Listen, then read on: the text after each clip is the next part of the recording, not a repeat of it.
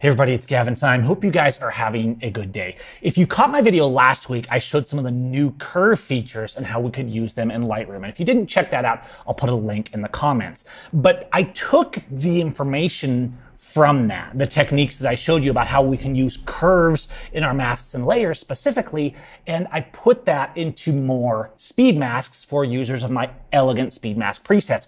And I'm going to show you today how to use those and what I did and how they can be effective, but I'm also going to show you uh, just the concept here. So if you make your own speed masks, that's fine, and you can do this in your way, because this is far and away the best way to use masks, because you can build in the mask here, and you can build the mask mask here, but then you have to manually apply a local adjustment preset, adjust your sliders. It's far more efficient, as I've showed you in a lot of the videos, to build speed masks. So you can use ones like mine, or you can build your own. You'll notice here that in 4.6, I've done a bunch of updates of these new A1. Now these are these kind of one mask speed masks. If you use my masks, you know that you can build all these masks now in Lightroom where it separates lips and eyes and skin and all that kind of stuff. And that can be super useful. However, one pro tip to remember with masking and layers, whether it's in Lightroom or in Capture One or in Photoshop, wherever you're doing that kind of work, is you can keep stacking up and stacking up and improving, but you can also start getting an unnatural look.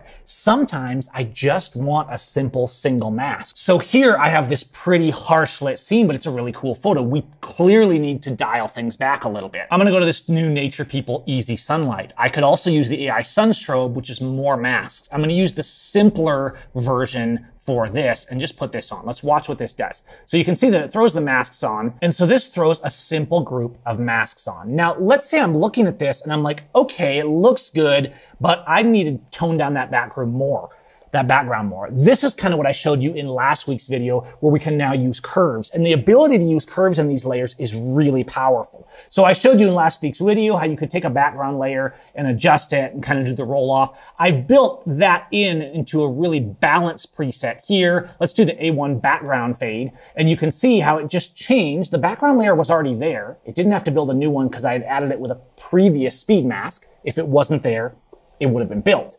Now, what it did is it just toned that, that background even more. And the beauty, and this is why another reason you should be doing more and more things in presets, even if you're making your own, because there's so many crappy presets and internet marketers selling this kind of stuff. I see a lot of stuff like, oh, it's just presets. Presets are stupid. You should be doing it manually. The thing is in Lightroom, you actually get more features by using presets. So if, if you want, make your own, right? If you're like opposed to buying presets and tools and things like that, but you need to be using these. I can actually go up here now because I applied this speed mask as a preset and I can just quickly turn it up or down. Now, I don't want to push it all the way to here because we get that unnatural look, right? So I could go down, I could go up. But the point is I'm getting this nice balance of this. Here, let's go to another photo and you can see this one again has no masks. I'm going to go to this A1 Cine Mist just to give you guys an example of also this idea of just using one layer instead of separating all of them out, which is not bad, by the way. But sometimes just a clean, simple layer like this is all you need. And the beauty is just turn it up and down, right? So here's nothing. Here's, you know, 50, and here's 150. Maybe I don't want to go that far, but what I tried to emulate here with the settings of this mask is kind of like using a mist filter on the lens where you're kind of softening things down and getting a little bit better control. The thing is, this doesn't just work for portraits. So let's say we have this coffee right here. Here's a photo of a latte I took and it's kind of got these lights and bokeh in the background. It looks cool, but I want to emphasize the cup a little more. I'm going to go back to that a1 background fade. That's the background fade I showed you how to make in the video last week. And all this does is put it into a mask, right? And you notice what's happening. We're kind of doing a fall off curve here where it's dropping the highlights and the contrast a bit. And as I turn it up, it's going to do it more. And it's combining that with a little bit of exposure settings and things like that on this background mask here. What that does is it's allowing me to emphasize. If you guys have ever been to one of my workshops, and if you haven't, you definitely want to go to my site and check out my free Shadow Hunters live workshop because a lot of what you perceive in tone and the brightness of your subject is actually controlled by the brightness of what's around it. So if your background, so if your background is really modeled, has bright spots and dark spots, not only is it distracting, but if the contrast it creates with your subject, it can make your subject actually feel too light or too dark. So balancing that is really important.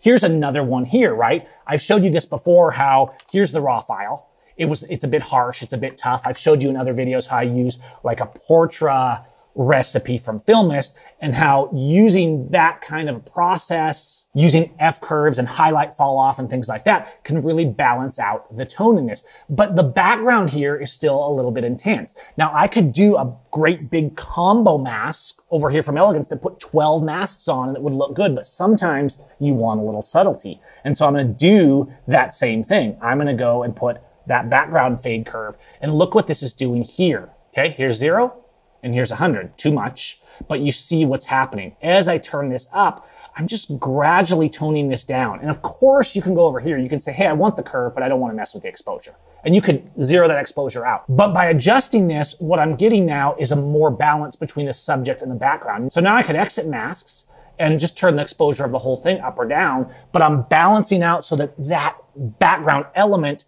doesn't become a huge distraction. And that is really important. Another thing I've done is I've put a subject specific F curve. You may have seen my F curve video here on the channel and why it's better than the S curve. But now that we can do curves and layers, you can build a curve like that and save it as a speed mask. So here's an example of how I did that. I did the background curve and let's look at our curves again. And you can see there's the background curve. I'm just going to add one more individual curve and that's the subject F curve. So this is adding the F curve only to the subject right here. And again, I can turn this up or down. I'm just going to turn it up just so the skin is kind of softening and we don't have that punch too much contrast of too much contrast in the face and those specular highlights because we have that sun coming in on the subject. So part of the way you should build speed masks is not only to quickly let you build groups of masks or individual masks like I did with these new masks in Elegance 4.6, but it's also to remind you to try certain things. Because if you're always doing everything manually, just like with develop presets, you're not going to try the formulas in the same way. I've already used masks on this boudoir style portrait to soften the skin and make everything nicer. And it looks pretty good,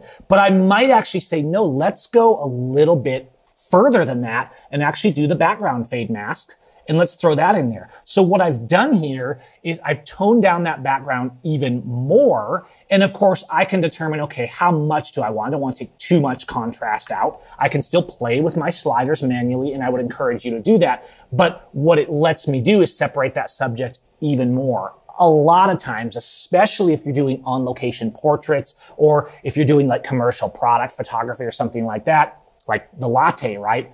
This can be really useful because rather than have to go in and individually select like we used to do and burn down those areas, you can quickly select that background. But instead of just doing what you probably do if you were working manually and just turning the exposure down, when you build it into a speed mask, you can have a very refined curve or something like that because it's not just about turning down exposure. It's about balancing out contrast, highlight and shadow so that that background is less distracting, which allows your subject to come forward.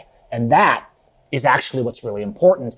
And if you do it that way, instead of just turning exposure up and down, you get a more natural result where your subject doesn't just look cut out of your mask because you're mixing things around in a more subtle way. If you use Elegance, definitely download this update and it's going to do the heavy lifting for you. You can just apply it and go whenever you want. But if you're someone who's making your own presets and speed masks, definitely you want to be implementing these techniques because they work really good with these new curve features that we're seeing now. All right, you guys, I hope you found this useful. I'll put some extra links in the comments. Please like, subscribe, and follow along for more of these kind of tips, and we'll see you next time.